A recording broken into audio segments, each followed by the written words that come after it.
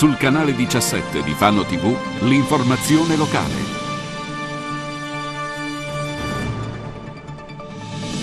Grave infortunio sul lavoro a Monteporzio, agricoltore trasportato in eliambulanza al torrette di Ancona.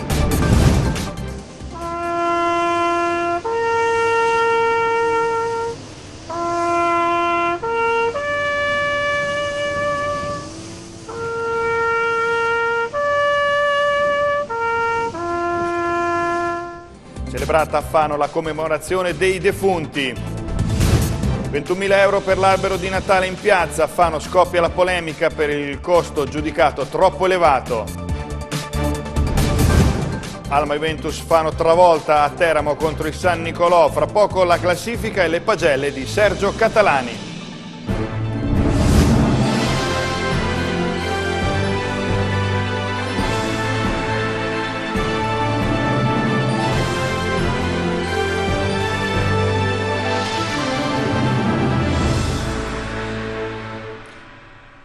Cordiale buonasera dalla redazione di Occhio alla Notizia. In apertura di telegiornale vi parliamo di un grave incidente, infortunio sul lavoro accaduto questa mattina in via Pozziloco a Monteporzio. Una donna di 72 anni è rimasta incastrata con la, con la mano nel meccanismo di una seminatrice manovrata dal marito che era alla guida del suo trattore.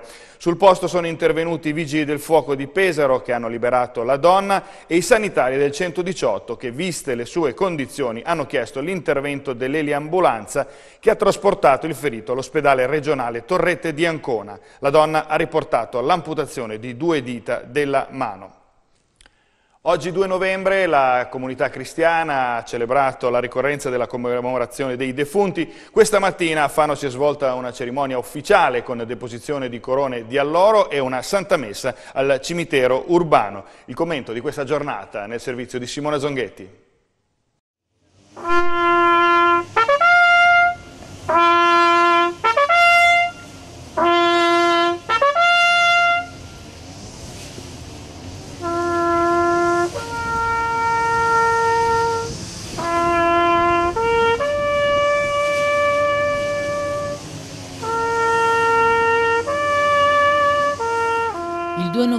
Giorno in cui viene celebrata la ricorrenza della commemorazione dei defunti e anche il comune di Fano, come ogni anno, ha voluto ricordarli con una cerimonia ufficiale. Un corteo formato da autorità civili e militari, tra cui il sindaco Massimo Seri e il capo di gabinetto della prefettura Donatella Corvatta, ha prima depositato una corona d'alloro al monumento alla resistenza in piazzale Malatesta per poi spostarsi in viale Buozzi dinanzi al monumento ai caduti. È seguita una santa messa al cimitero urbano ufficiata insieme a padre Lorenzo da Don Antonello Nanni della comunità dei frati Cappuccini che durante l'umelia ha citato una poesia di Ungaretti intitolata Soldati.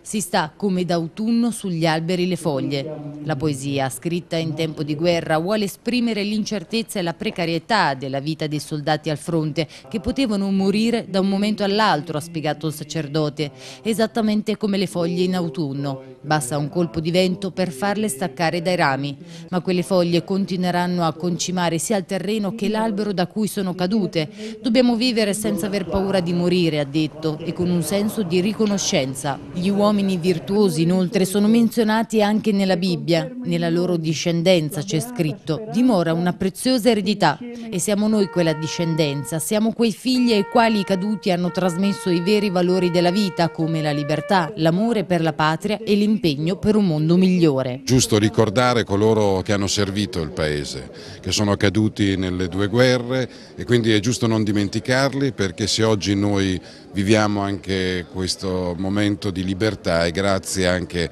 al sacrificio che queste persone nel servire il loro paese hanno, hanno dato alle comunità, sono, alle generazioni che sono seguite. Quindi è un momento di forte radicamento nostre, ai nostri valori ma anche un alto senso civile, quindi è giusto che le istituzioni siano, eh, siano presenti in questo momento di preghiera per chi ha fede ma anche in senso laico di rispetto verso chi si è sacrificato per gli altri. Continuiamo con la cronaca, un'auto, una station wagon risultata rubata a Fano il 29 ottobre scorso è stata ritrovata dai carabinieri di Ostra durante un controllo, ma all'alte dei militari gli occupanti si sono dati alla fuga.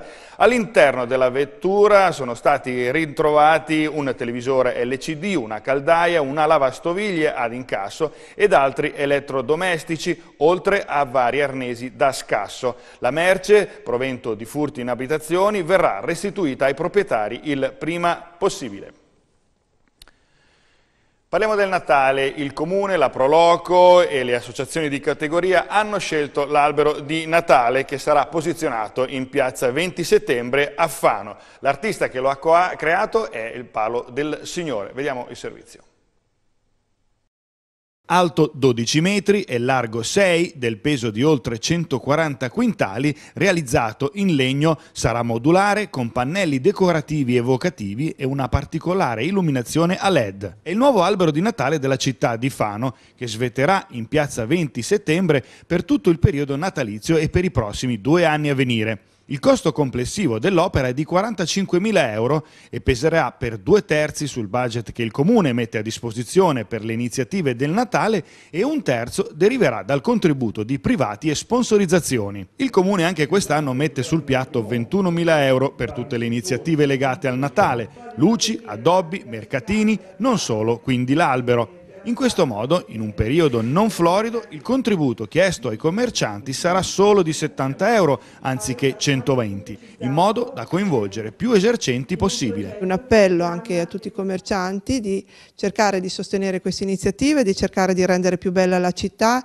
e più attraenti in queste giornate eh, di, festi eh, di, festività alla luce della fratellanza, alla luce della, solid eh, della solidarietà. L'albero del Signore Seri, così si chiama, è stato curato dall'architetto Seri e le decorazioni sono dell'artista Paolo del Signore, già noto alle cronache per essere l'inventore dell'ormai oggetto di culto del carnevale fanese, il prendigetto. È un albero molto grande, circa 12 metri, anche 13, ehm, per una grandezza di 6 metri circa e l'albero rappresenta racconta um, un po' una sto la storia, la bella favola del Natale, con delle illustrazioni dei miei disegni, un po' tipici della mia, del mio, eh, del, della mia opera, eh, però mh, che eh, rappresenta la città di Fano vestita a festa, vestita eh, addobbata a Natale. È un albero che comunque durerà per parecchi anni perché è realizzato in un materiale che può stare all'acqua, quindi è molto controllato da, parte, da, questo punto di vista.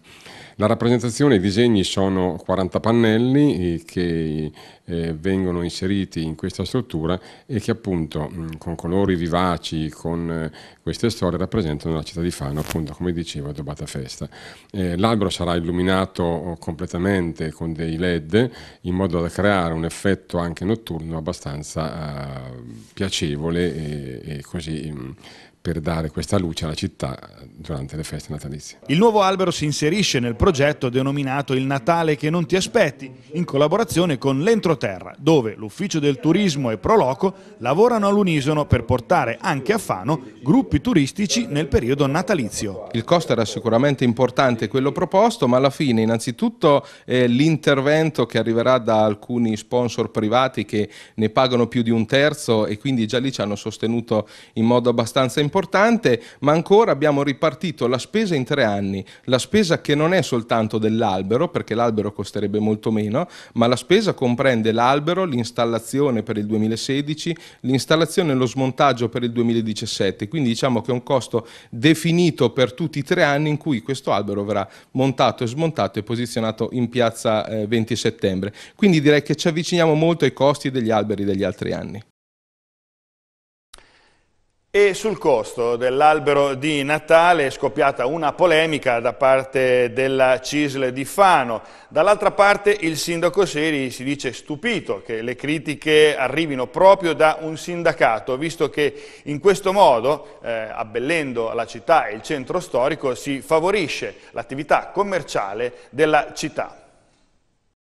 Arriva il nuovo albero di Natale e con lui tante polemiche, come quella della CISL di Fano, che si dice profondamente sconcertata per la spesa di 21.000 euro che il Comune intende sostenere, mentre tutte le risorse disponibili andrebbero utilizzate per contrastare la povertà e l'emarginazione.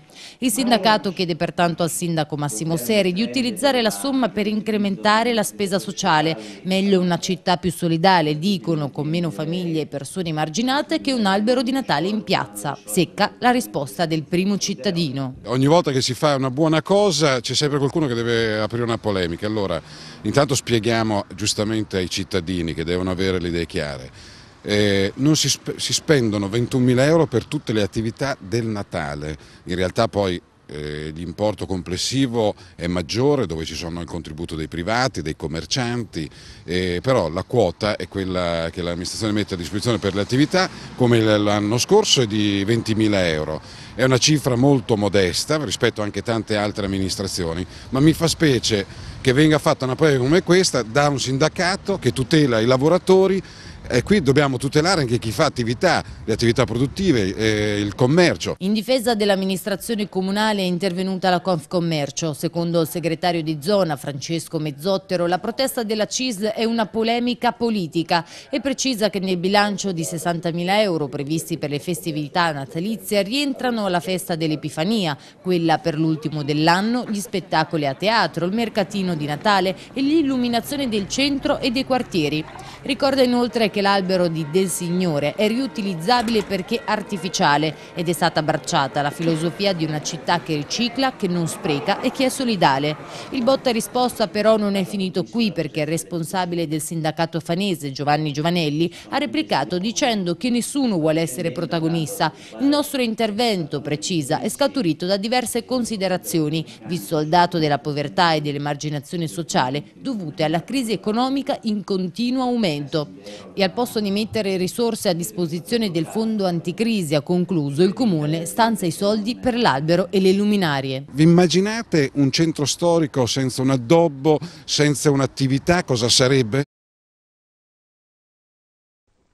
Ed ora torniamo a occuparci di Banca Marche. Ammontano a 15 milioni di euro i sequestri eseguiti dal nucleo di polizia tributaria della Guardia di Finanza di Ancona nello stralcio dell'inchiesta sul buco miliardario di Banca Marche. I sequestri, che comprendono 20 conti correnti, partecipazioni societarie e diverse abitazioni a Bologna, Parma e Roma, riguardano, oltre ai Bianconi e all'imprenditore Vittorio Casale, anche un altro imprenditore pugliese.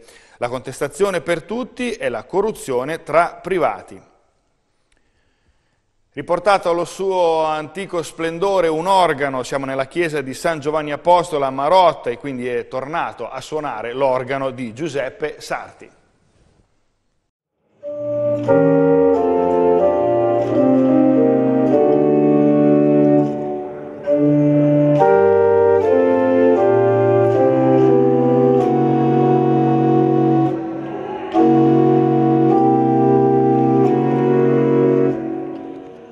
Le sue 520 canne sono ritornate a emettere il suono cristallino di cui sono capaci. L'organo del 1850, opera dell'organaro Giuseppe Sarti, situato nella chiesa di San Giovanni Apostolo a Marotta, è stato riportato al suo antico splendore con un restauro approfondito ad opera di Riccardo Sabatini, grazie ad un contributo della Fondazione Carifano e l'utilizzo dell'8 per 1000. Lo strumento è di scuola bolognese e quindi eh, si identifica eh, come tale per diversi registri che ha.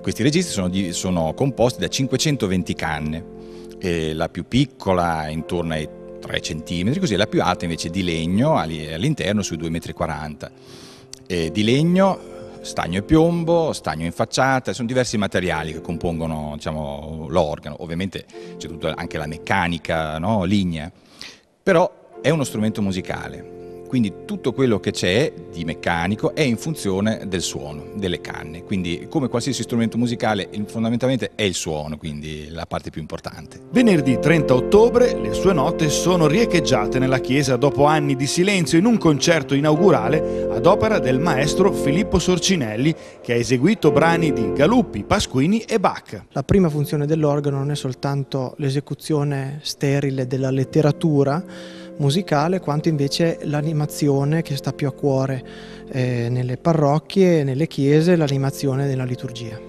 Ecco, il suono che emana questo strumento è un bel suono.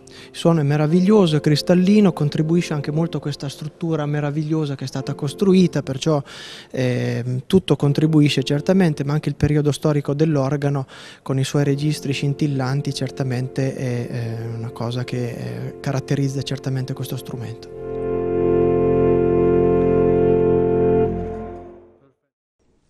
Ed ora parliamo di sanità, perché domani 3 novembre l'area donatori torna nella sua sede originaria. Siamo al piano terra del padiglione C, dentro la medicina trasfusionale dell'ospedale Santa Croce di Fano. L'area è stata ristrutturata e adeguata alle normative vigenti di accreditamento. L'attività sanitaria resterà inalterata e gli utenti della medicina trasfusionale troveranno nuovi locali più accoglienti e luminosi. Ed ora vi facciamo vedere questo filmato che riguarda la Rocca Malatestiana di Fano, un'immagine che ci aveva inviato un nostro telespettatore durante il programma di Fano TV Primo Cittadino lamentava appunto eh, eh, le erbacce che nascevano incolte sul monumento. Ed ora a fianco alle immagini del nostro telespettatore vi facciamo vedere invece quelle che abbiamo girato questa mattina e come potete vedere il Comune è intervenuto con un'operazione di pulizia riportando la rocca al suo antico splendore. Ebbene, è veramente bello vedere le mura della Rocca ripulite così che restituiscono tutta la maestosità di questo monumento così importante per Fano. Apriamo la pagina dello sport, eh, nella giornata di ieri, domenica 1 novembre, due fanesi, Marco Savelli e Roberto Polverari, hanno portato a termine la 45esima edizione della Maratona di New York. Gli atleti della Fano Corre hanno tagliato il traguardo del Central Park indossando una maglietta tappezzata di sponsor che hanno voluto sostenere la causa del bimbo fanese di 5 anni affetto dal morbo di crabbe per eh, la quale in Italia al momento non esistono cure. Nella parte posteriore della maglietta invece c'era la scritta per favore, Presidente Obama, ci restituisca il nostro Lisipo, il capolavoro chiamato Atleta Vittorioso che ora è in possesso del Getty Museum di Malibu in California e che è al centro di una contesa con lo Stato italiano. E adesso passiamo al calcio, la Serie D, perché ieri a Teramo l'Alma Juventus Fano ha perso per 5 a 1 contro il San Nicolò. Ed ora guardiamo gli highlights della partita. Allo stadio Gaetano Bonolis, località Piano Daccio in Teramo, si affrontano la seconda, il San Nicolò, e la terza, l'Alma Juventus Fano alla ricerca di un sogno, alla ricerca dell'aggancio alla capolista Sambi impegnata nella gara interna alla Riviera con il Giulianova. Buon pomeriggio, buon pomeriggio da Sergio Catalani. Eh, Donatangelo che viene via a Marconi, c'è il San Nicolò che si distende il gol. C'è il gol del San Nicolò che va in vantaggio con la stoccata al sesto minuto. Mozzoni verso Casolla che mette nel mezzo, c'è Margarita, attenzione c'è il gol ancora, San Nicolò che va sul 2-0 con Massetti, Marconi in vantaggio e allontana ma è ancora il San Nicolò, attenzione a Merlonghi, il colpo di testa è ancora gol, sono tre. E sono tre. Non ci è sembrato proprio immune, intanto attenzione rigore per San Nicolò, la spinta netta ci è sembrata di May, vediamo il destro di Margarita, il tiro, il gol, spiazzato Ginestra, tiro imparabile, 4-0 per il San Nicolò. Vediamo Chiacchiarelli al limite, c'è il tiro, il gol del Fano con Gucci. A buon mercato riparte la formazione locale, il brutto fallo di Nodari. Vediamo ci dovrebbe essere l'ammonizione, no, il rosso diretto per Nodari. Marconi che concede la palla a Mozzoni che mette in moto le lunghe leve Mazzoni, Mozzoni, Mozzoni il tiro è ancora gol grande gol di Mozzoni azione personale e tutta la panchina che va ad esultare. Ultima azione Margarita prova a segnare il sesto gol vediamo Margarita il tiro alla barriera ci mette una pezza basta così dice il mediocre Gualtieri di Asti finisce con una manita, 5-1 per il San Nicolò. E in studio per un breve commento alla partita, per risultati, classifiche e pagelle, abbiamo Sergio Catalani. Allora Sergio, che cosa è successo a Teramo? L'Alma Juventus Fano, 3 su 4 partite sono sconfitte, come mai?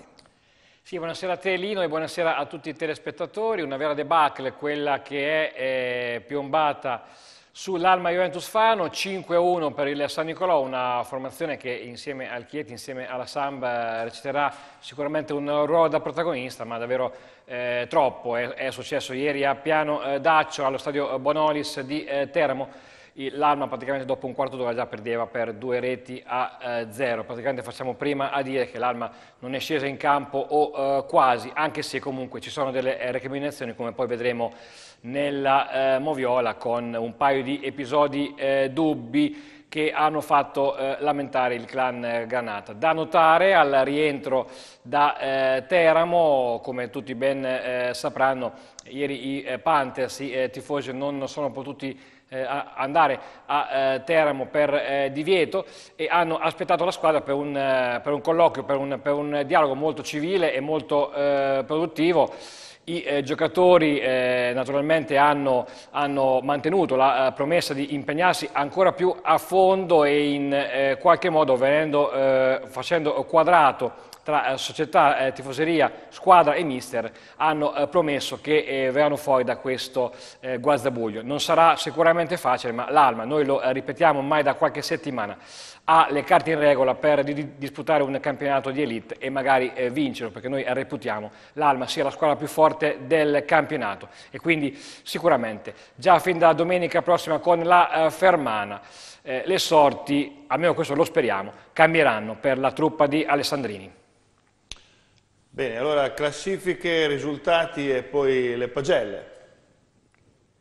Risultati della decima giornata di eh, andata del campionato nazionale dilettanti Serie D Girone F. San Nicolò batte Alma Juventus Fano 5-1. Ad Agnone, Amiternina batte Agnonese 2-0. Avezzano e Vispesaro 1-1. Castelfidardo batte Campobasso 1-0. A Chieti, Matelica batte Chieti 2-0. Fermana batte Monticelli 2 a 1, Iesina batte Isernia 1 a 0. A Porto Recanati, campo neutro, Folgore Veregra batte Recanatese 2 a 0. San Benedettese Giulianova 2 a 0 per una classifica che vede la Samb di Mister Palladini in testa a 22 punti Lepre solitaria seguita dal San Nicolò a 21, il Matelica a 19, l'Alma Juve Fano a 17 quarta forza quindi l'Avezzano e la Folgore Vergara a 15 punti, il Chieti, il Monticelli e il Castelfidardo a 14, la Fermana e il Campobasso a 13, la Jesina e l'Isernia a 12, la Recanatese a 11, Amiternina a 10, Vispesaro 9, Agnonese 8. Chiude la classifica il Falanino di Coda Giulianova. Il prossimo turno, come detto, Alma Juventus Fano, attesa dalla eh, difficile eh, partita alla Mancini contro la fermana dei tanti ex e del eh, ex indimenticato Osvaldo Iaconi. E ora le pagelle di eh, San Nicolò, Alma Juventus Fano, le pagelle dell'Alma naturalmente. Ginestra 5. Marconi 4, Bartolini 4,5, Lunardini 4, Nodari 4, Mei 5, Sivilla 4, Favo 4,5, Gucci 5, Chiacchiarelli 5, Lucciarini 5,5, sono entrati nel secondo tempo, Sassaroli non eh, giudicato, Buongiorno 5 e Verruschi 6, Alessandrini allenatore 4. Allora queste erano le pagelle, naturalmente come era immaginabile voti bassi e allora guardiamo qualche episodio saliente alla Moviola eh, di questa partita. Sì, Rino, ecco, diciamo c'è un paio, due, tre episodi. Nel primo tempo il cross di Chiacchiarelli dalla destra, protesta granata per un presunto mani di Pretara, numero due del San Nicolò. Il Siviglia che tenta il colpo di testa, ma c'è eh, evidente il eh, tocco con un braccio.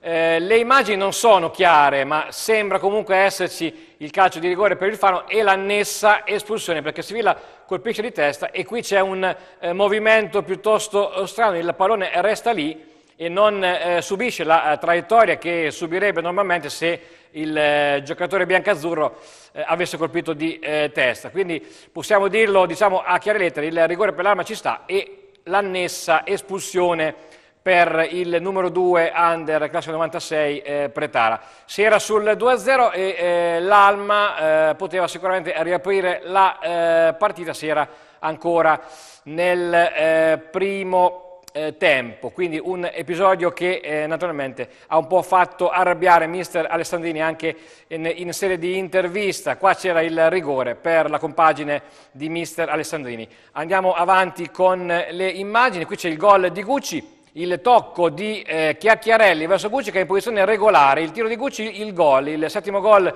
granata dell'Ariete di Bagno a Ripoli, in cronaca diretta avevamo eh, ha affermato che il giocatore eh, toscano potesse essere al di là dei eh, giocatori biancazzurri. In realtà c'è proprio questo giocatore qua che è il eh, centrale eh, difensivo eh, Rapino che tiene in gioco Gucci, quindi il gol è più che regolare e quindi eh, ci eh, scusiamo se in eh, cronaca avevamo detto che il gol potesse essere eh, nato da posizione irregolare. Il gol è regolarissimo e quindi eh, l'Alma si, si porta sul 4-1 con il settimo gol, vedete il tocco di eh, Chiacchiarelli, Gucci è tenuto in gioco da Rapino. Andiamo avanti con la topica di Gualtieri di Asti, non l'unica, nel finale di gara Chiacchiarelli punta Mozzoni, dribbling, il, lo sgambetto netto, è vero che il fallo avviene fuori aria, ma il calcio di posizione ci sta. Il direttore di gara arriva di gran carriera da tutt'altra posizione e va ad ammonire Chiacchiarelli, che naturalmente è incredulo.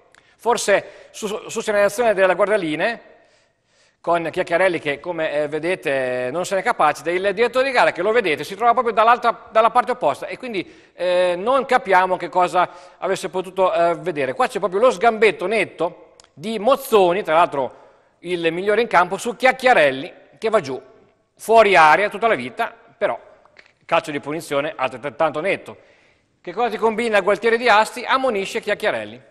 Quindi un'altra topica del eh, direttore di gara, il Fano gioca una partita pessima e merita ampiamente il 5-1 come i voti ne eh, testimoniano, ma il Fano ancora una volta ha eh, ben donde di eh, reclamare un atteggiamento a dir poco strano nei confronti del, del, Presidente Gabellini che a questo punto farebbe bene anche a eh, lamentarsi nelle sedi competenti perché qui si sta subendo un po' troppi torti. Bene, grazie Sergio per questo tuo commento e adesso vi ricordo come sempre che a seguire il telegiornale potrete vedere per integrale tutta la partita dell'Alma Juventus Fano. Prima di lasciarvi vi ricordo anche che mercoledì torna l'appuntamento con Primo Cittadino, sarà ospite dei nostri studi il sindaco di Saltara Claudio Uguccioni e quindi mercoledì alle 20.45 Primo Cittadino. Per intervenire in diretta il numero è sempre lo stesso, lo 0721 86 1433 oppure per mandare eh, domande o quesiti al sindaco potete utilizzare l'SMS o il WhatsApp al 338 49 68 250.